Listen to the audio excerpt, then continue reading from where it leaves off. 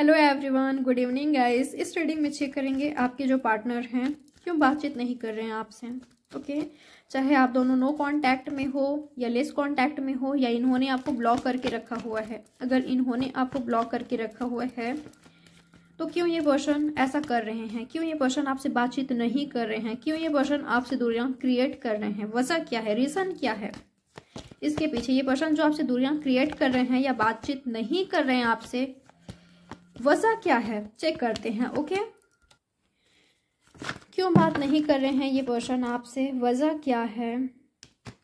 आपसे बातचीत ना करने का या दूरियाँ क्रिएट करने का या आपको ब्लॉक करने का रीज़न क्या है? क्यों ये पर्सन आपसे बात नहीं कर रहे हैं? इम्प्रेस और टेन ऑफ़ स्वर्ड्स ओके मैं आपको बता दूँ, आपके रिश्ते का एंड हो चुका है। इनके तरफ़ से, इनके साइड से, इनके लाइफ में कोई और है, किसी और के साथ ये आगे बढ़ चुके हैं, इन पर जिम्मेदारियाँ हैं, उनका, चाहे मदर का हो सकता है, चाहे वाइफ या हस्बैंड चाहे फैमिली चाहे लवर्स का ओके ये पर्सन उनके प्रति अपना रिस्पॉन्सिबिलिटी समझ रहे हैं, अपना कर्तव्य समझ रहे हैं, इस वजह से ये पर्सन आपसे दूरियाँ क्रिएट कर रहे हैं। क्योंकि ये पर्सन किसी और के साथ हैं, या तो आप किसी और के साथ हो, ठीक है? तो इनको ऐसा लग रहा है कि हमारा जो कनेक्शन था, उसका एंड टोटली हो चुका है, और अब मैं कुछ नहीं कर सकता, कुछ नहीं कर सकती। मैंने ऑलरेडी बहुत किया है, करने की कोशिश किया था, पर वो वर्क नहीं किया। तो जो आज इनका सिचुएशन है, जो आज इनके लाइफ में हो रहा है, आज ये पर्सन जिस दिशा में है, जिस डायरेक्शन में आगे बढ़ चुके हैं, वहाँ पर ये पर्सन कंटिन्यू करना चाहते हैं, ठीक है? उन पर जिम्मेदारियाँ समझ रहे हैं, कर्तव्य समझ रहे हैं, उनका कर्तव्य है, जिम्मेदारियाँ हैं, इस वजह से ये पर्सन आपसे दूरियाँ बना रहे हैं, इस वजह से इस पर्सन ने आपको ब्लॉक करके रखा हुआ है, इस वजह से ये पर्सन आपसे बातचीत नहीं कर रहे हैं, क्योंकि या तो इनका शादी होने जा रहा है, होने वाला है या ऑलरेडी इनका मैरिज किसी और से हो चुका है या तो आप ऑलरेडी मैरिड हो ओके okay? या तो मदर इशू है फैमिली इशू है यहाँ पर या तो जिम्मेदारियाँ काफ़ी ज़्यादा है राइट नाउ ये भी वजह हो सकता है ओके okay? आपसे दूरियाँ बनाने का आपको ब्लॉक करने का ओके okay? कुछ लोग ले मैं यहाँ पर ये भी फील कर पा रही हूँ कि इस पर्सन ने तो अपनी तरफ़ से पूरी कोशिश किया था भरपूर आपको प्यार दिया था रिस्पेक्ट दिया था वैल्यू दिया था आपको एक क्वीन या किंग की तरह ट्रेट किया था, आपका रिस्पेक्ट काफ़ी किया था, आपका वैल्यू काफ़ी ज़्यादा किया था। इन्होंने सोचा था कि आप ही इनके फ्यूचर हस्बैंड या वाइफ होंगे। ये ऑलरेडी आप दोनों हो भी हो सकते हो, ठीक है?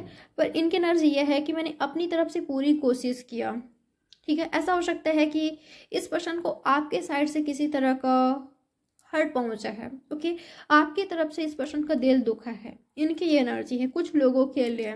ठीक है? इस वजह से ये पर्सन आपसे मुँह मोड़ रहे हैं।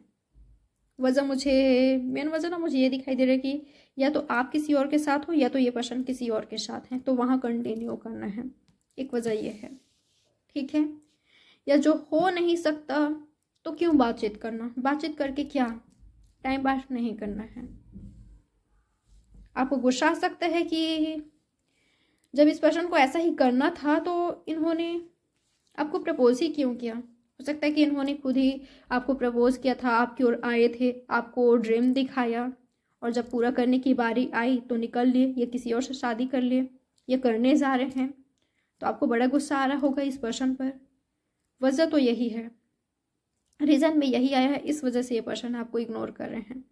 किसी और से शादी करने जा रहे हैं, या तो हो चुका है, या इनकी लाइफ में कोई और है ओके या तो फैमिली इशू है। जिम्मेदारियाँ हैं, कर्तव्य है। ये ऐसा समझ रहे हैं। इस वजह से ये पर्सन आपसे दूरियाँ बना रहे हैं।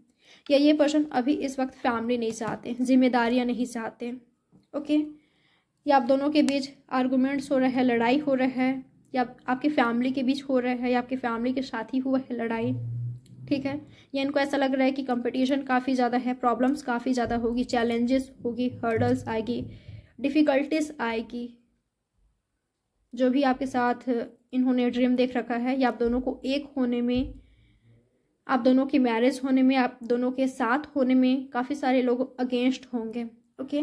इनको काफ़ी सारे लोगों का, इनको काफ़ी सारे लोगों के अगेंस्ट जाना होगा। तब ये पर्सन आपके साथ लाइफ क्रिएट कर सकते हैं, ओके? तब ये पर्सन आपके साथ आ सकते हैं, ओके? ये भी एक रीज़न हो सकता है, क्योंकि काफ़ी सारे लोग नहीं चाहते आप दोनों साथ में हो, आप दोनों का मैरिज हो। बहुत सारे लोग अगेंस्ट हैं, ठीक है?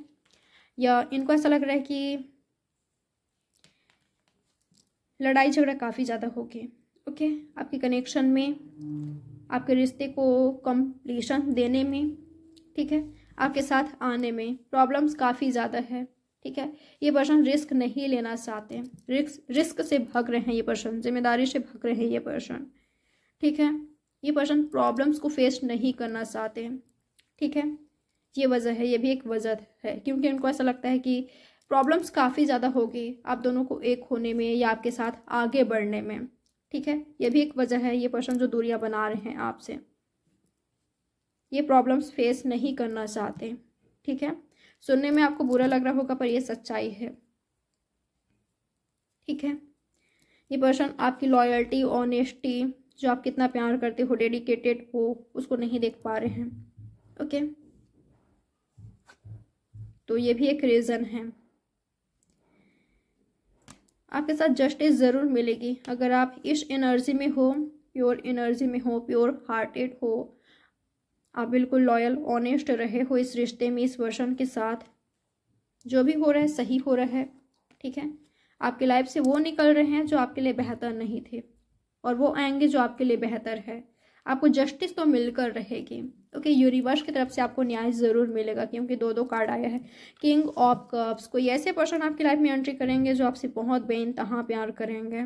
ओके फाइनेंशियली भी ये पर्सन काफ़ी स्ट्रांग होंगे, या तो इन फ्यूचर आप होने जा रहे हो।